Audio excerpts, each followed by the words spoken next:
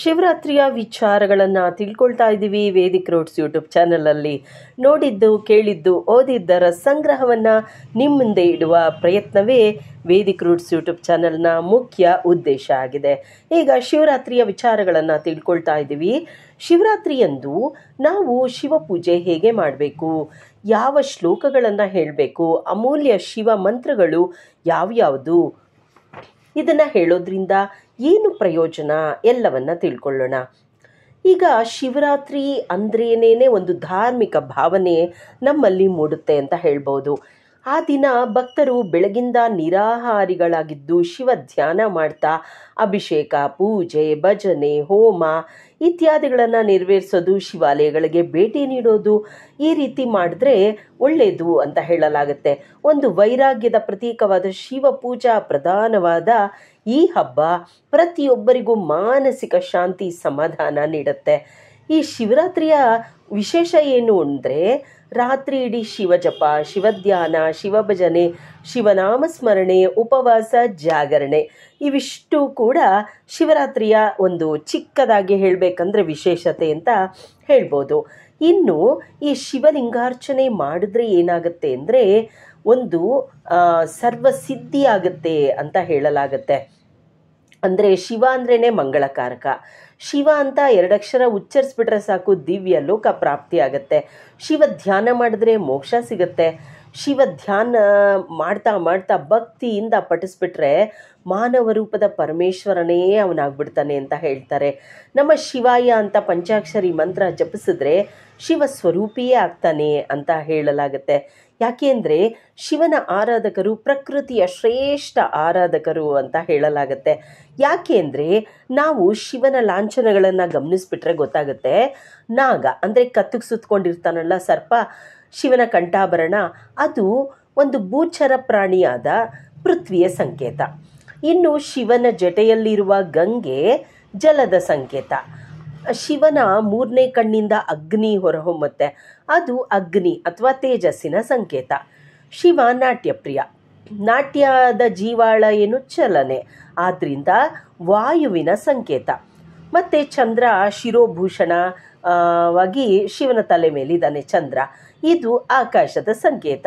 ಹೀಗೆ ಪಂಚಭೂತಗಳ ಒಂದು ಮಿಶ್ರಣವಾಗಿರುವ ಪರಶಿವ ಮೂರ್ತಿ ಪ್ರಕೃತಿಯ ಆರಾಧಕರ ಆರಾಧ್ಯ ದೈವ ಅಂತ ಹೇಳಿದ್ರೆ ತಪ್ಪಾಗಲಾರದು. ಆದ್ರಿಂದನೇ ನಾವು ಶಿವಮೂರ್ತಿಯ ಆರಾಧನೆ ಅಂದರೆ ಪ್ರಕೃತಿಯ ಆರಾಧನೆ ಅಂತ ಹೇಳ್ಬೋದು. ಇದು ಬಹಳ ಪ್ರಾಚೀನವಾಗಿ ಬಂದಂಥ ಪದ್ಧತಿ ಅಂತ ಹೇಳ್ಬೋದು.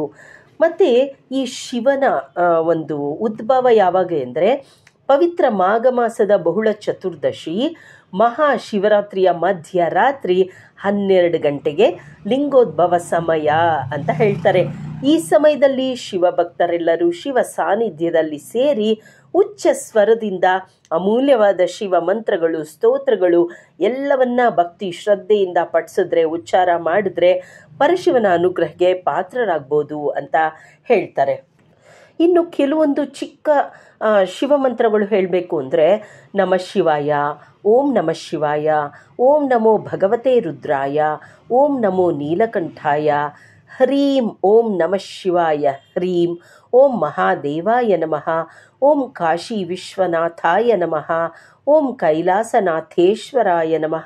ಈ ರೀತಿ ಹೇಳೋದು, ಅಥವಾ ಶಿವಾಷ್ಟೋತ್ತರ ಹೇಳೋದು, ಶಿವ ಕವಚ ಹೇಳೋದು, ಶಿವ ಸಹಸ್ರನಾಮ ಹೇಳೋದು, ಬಿಲ್ವಾಷ್ಟಕಮ್ಮು, ಲಿಂಗಾಷ್ಟಕಮ್ಮು, ಈ ರೀತಿ ಶಿವನಿಗೆ ಸಂಬಂಧಪಟ್ಟ ಸ್ತೋತ್ರಗಳು, ಕವಚಗಳು, ಮಂತ್ರಗಳು, ಶ್ಲೋಕಗಳು ಇತ್ಯಾದಿ ಯಾವುದನ್ನಾದರೂ ಮಾಡ್ತಾನೇ ಇದ್ದರೆ ಒಳ್ಳೆಯದು ಅಂತ ಹೇಳಲಾಗುತ್ತೆ.